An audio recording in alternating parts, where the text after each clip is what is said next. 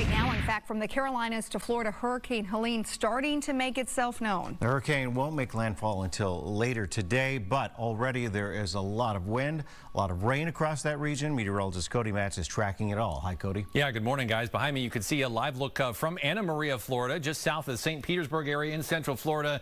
Yeah, the cameras do a little shimmy shake. It's been raining most of the night, and it's just going to get a whole lot worse uh, as uh, we move forward. And it's going to be like this for probably another 24 hours, at least in this spot. Another spot a little farther to the north, this time from uh, Hudson Beach.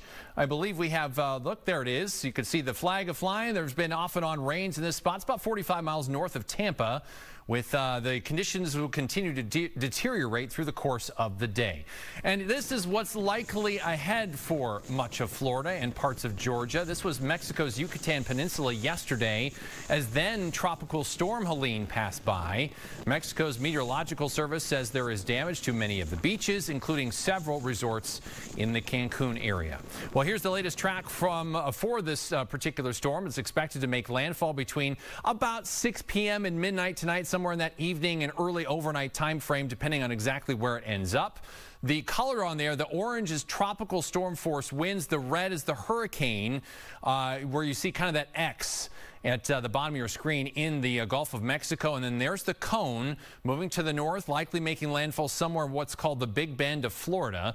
Flooding is already being seen as far north as North Carolina, and it's only going to get worse and continue likely into this upcoming weekend. Now, here's some video from Georgia showing how heavy the rain has been there already through yesterday afternoon. This is actually the Atlanta suburbs.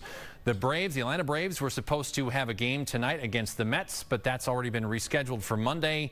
Flash flooding is going to be a big concern. This map is actually showing potential for the flash flooding. So this is the forecast from the Weather Prediction Center. On the left, the pink shaded zones, that's what we call a high risk for flash flooding over the next 24 hours. 80% of all damage and deaths related to flash flooding occur in high risk areas. So it's going to be a big problem, obviously, for the coast of Florida. And then as you get farther to the north in the southern Appalachians, just outside of Atlanta in Georgia, parts of South Carolina, Tennessee, and North Carolina. Now in Florida, the biggest concern right along the coast is the storm surge. Some coastal areas could see 20 feet of water.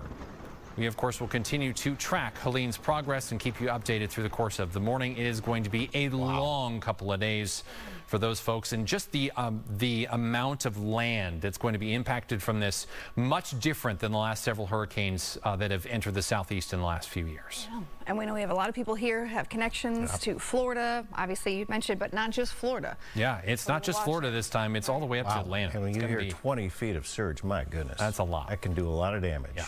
All right, Cody, thank you. Thank you.